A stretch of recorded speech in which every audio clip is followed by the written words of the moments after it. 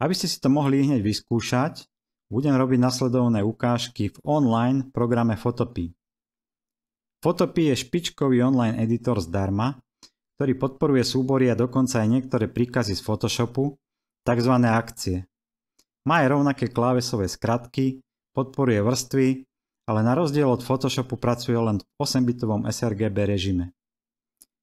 Otvorím si teda Photopeu, zadám do Google Photopea alebo kliknite na odkaz v texte pod videom. Cez súbor otvorím a načítam do editoru farebnú fotografiu. Najjednoduchší prevod do čierno-biela je nasledovný. Kliknem na záložku obraz, úpravy, čierno-biela a pomocou posuvníkov jednotlivých farieb si nastavujem optimálny prevod. Tu musím pripomenúť, že ak máte k dispozícii Photoshop, Lightroom alebo iný editor s podporou farieb v 16-bitovom režime, treba ho samozrejme uprednostniť. Znižíme tým riziko vzniku posterizácie prakticky na minimum. Posterizácia to sú vlastne také nepekné artefakty, ktoré vznikajú hlavne na oblohe alebo všeobecne na miestach, kde máme jemné prechody a 8-bitový režim hlavne pri nízkom rozlíšení fotky môže spôsobovať túto posterizáciu. Pri tlači na veľké formáty tieto artefakty sú dosť viditeľné a je lepšie sa im preto vyhnúť. Ako vidíte na fotke, po zväčšení na 100% cez príkaz lupa v ľavom paneli, pri tomto spôsobe úprave v editore Photopea nám už začínajú vznikať artefakty.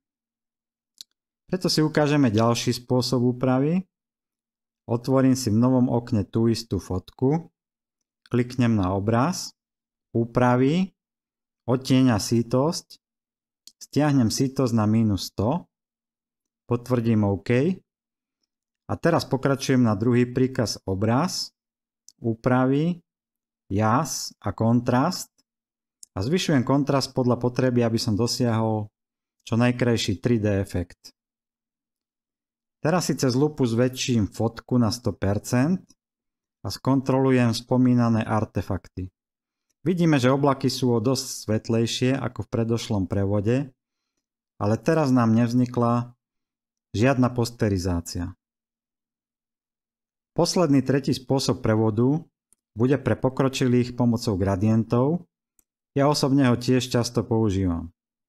Dolu pod videom nájdete odkaz na stiahnutie súboru s názvom Čierno-bielý prevod akcia s priponou ATN. Je to vlastne vyexportovaný súbor príkazov z Photoshopu, ktorý nám bude fungovať aj v tomto online editore, ale samozrejme ho môžete využiť aj vo Photoshope ako akciu na kvalitný prevod do čierno-bielej. V online editore teraz otvorím súbor Čierno-biely prevod akcia Kliknem na záložku okno, akcia, napravo sa mi zobrazí panel akcia, kliknem na príkaz s názvom pokročilý čierno prevod, predtým si ešte otvorím farebnú fotku do novej záložky, kliknem na trojuholník play a prakticky hneď dostanem aj celkom zaujímavý výsledok. Ak nie som spokojný, môžem pomocou percent na jednotlivých vrstvách v pravom paneli doľaďovať fotku podľa svojich potrieb. Najskôr rozkliknem záložku vrstiev s názvom Basic B-2 V. Otvoria sa mi všetky vrstvy, vrchnú vrstvu Lighten si pre poriadok ešte presuniem nad vrstvu Darken a teraz pomocou posúvníka krytie na každej vrstve si vyladím výslednú fotku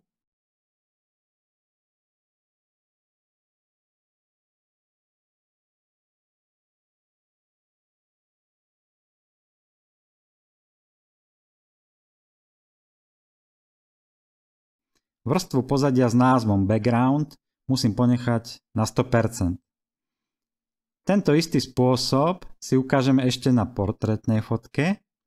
Otvorím farebné foto, kliknem na záložku akcia, pokročilý čierno prevod, spustím akciu a samozrejme vyladím pomocou posuvníkov krytie vrstvy samotný výstup.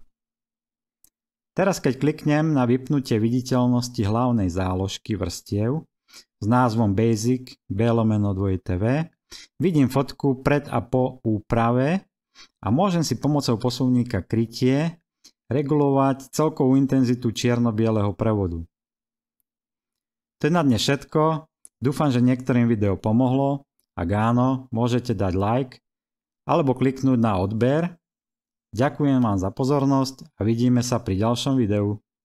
Ahojte.